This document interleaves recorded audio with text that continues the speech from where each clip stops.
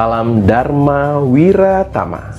Wiratama News of the Weeks kembali menyapa Anda dalam rangkuman berita minggu kedua bulan Juni tahun 2023 bersama saya Kapten Kevin.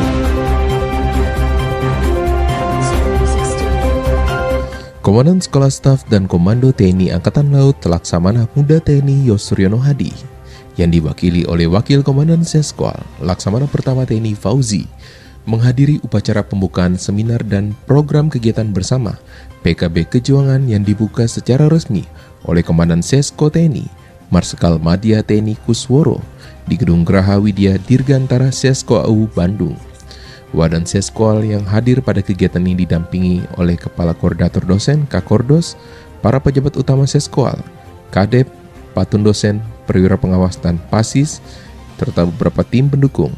Dalam amanatnya, Komandan Sesko TNI mengucapkan terima kasih dan penghargaan yang setinggi-tingginya kepada hadirin yang telah memenuhi undangan dalam rangka pelaksanaan kegiatan seminar PKB Kejuangan yang mengangkat tema TNI Polri bersama komponen bangsa lainnya siap mendukung peningkatan produktivitas untuk transformasi ekonomi yang inklusif dan berkelanjutan.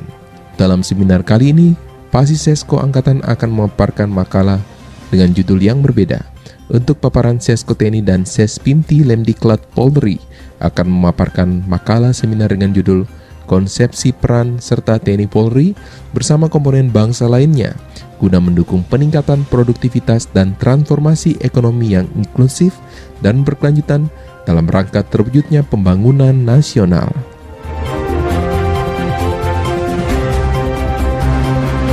TNI Angkatan Laut kembali menggelar International Maritime Security Symposium IMSS 2023 bertempat di Hotel Claro, Kota Makassar, Sulawesi Selatan dengan mengusung tema Partnership to Recover to Rise Stronger.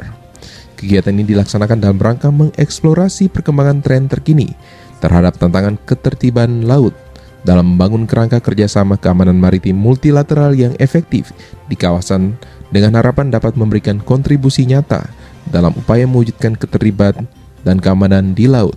Kepala Staf Angkatan Laut Kasal Laksamana TNI Muhammad Ali dalam amanatnya menyampaikan, saat kita bersama hari ini sangat penting bagi kita untuk mengatasi dinamika yang selalu berubah, geopolitik di wilayah kita, serta tantangan kelautan non-tradisional yang kompleks dan beragam yang kita hadapi, termasuk bencana alam dan pandemi. Tantangan ini mengharuskan kita untuk bersatu dan berkolaborasi memastikan stabilitas wilayah kita melalui kerjasama multilateral. Ujar Kasar. Rangkaian IMSS 2023 diawali dengan menyanyikan lagu kebangsaan Indonesia Raya, pemutaran tayangan IMSS 2023, sambutan kasal, penampilan tari budaya Makassar, tari Pakarena, keynote speech, dan pernyataan pembukaan oleh Kasal, foto bersama, penyampaian komitmen bersama, dan arah kebijakan pimpinan hasil presidensi G20 pelaksanaan simposium tiga sesi, penyerahan cindera mata, dan penutupan kegiatan oleh Kasal.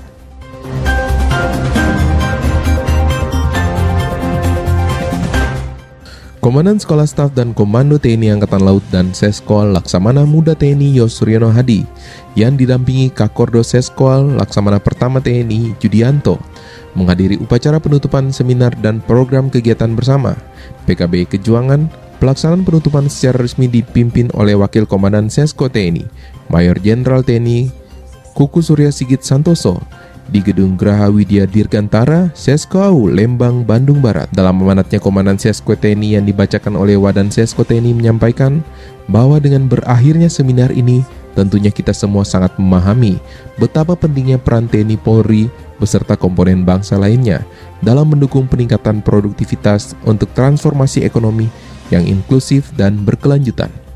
Berbagai hal yang telah dibahas dan didiskusikan secara mendalam pada kegiatan seminar PKB Kejuangan tersebut hendaknya dapat diimplementasikan dalam menjawab segala tantangan tugas dengan meningkatkan kepedulian sebagai anak bangsa yang memiliki jati diri dalam menghadapi pengaruh yang berkembang saat ini. Keberhasilan pelaksanaan seminar PKB Kejuangan kali ini hendaknya tidak hanya selesai sampai di sini saja, namun juga dijadikan momentum dan inspirasi untuk terus mengembangkan dan meningkatkan kreativitas serta inovasi dalam melaksanakan tugas yang terbaik di mana pun berada.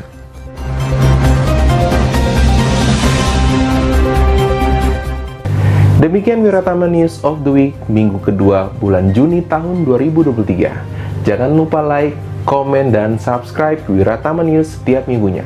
Sekian dan terima kasih. Salam Dharma Wiratama.